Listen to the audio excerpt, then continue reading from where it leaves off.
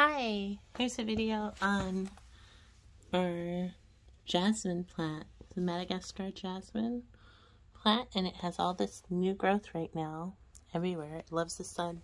It's protected from the frost in the winter. I brought it in the sunroom, south-facing window, so it's doing well. It bloomed abundantly, gave us so many blooms this season. This is the first season we've had it, and it's tripled in size. So it's a real beautiful plant in India. It's like a, a shrub, but a large bushy shrub. So full of flowers that they put um, by their mandir for puja, for prayer.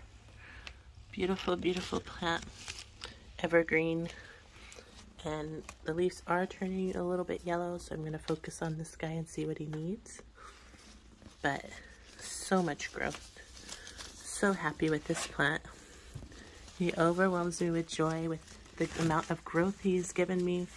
The heat was very, very hot this summer and I kept him shaded by our golden Dorsett apple tree so that it could grow without the afternoon heat. But it got plenty of um, morning sun. Great plant to have. I did plant it in this cactus citrus soil, so that may be the reason. But it's been in that all summer long, so We'll see. I might have to add some nutrients or maybe it's just summer, winter time yellowing. Okay, thanks for watching.